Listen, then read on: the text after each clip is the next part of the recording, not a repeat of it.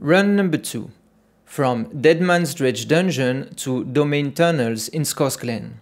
For those of you who want to look at the leveling route in low level details, I have uploaded my hardcore leveling run. You can find the link here leading to that no commentary edited gameplay video. Use it to your advantage. Back to run number 2.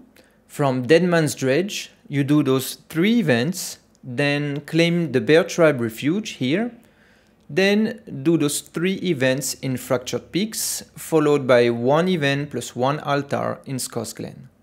Then two events plus two altars, and then you claim the Fat Goose Inn waypoint.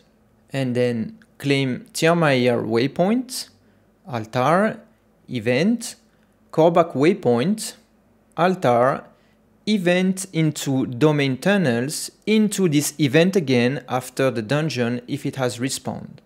This route will give you exactly 200 renown points, unlocking the first Scosglen skill points and of course unlocking the aspect of efficiency.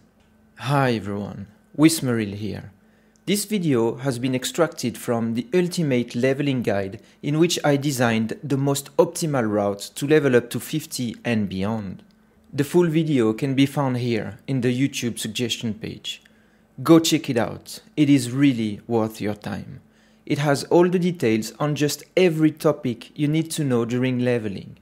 It will also answer all the questions you're asking yourself at that stage of the game. Happy leveling. I'll see you in Sanctuary, Wanderer.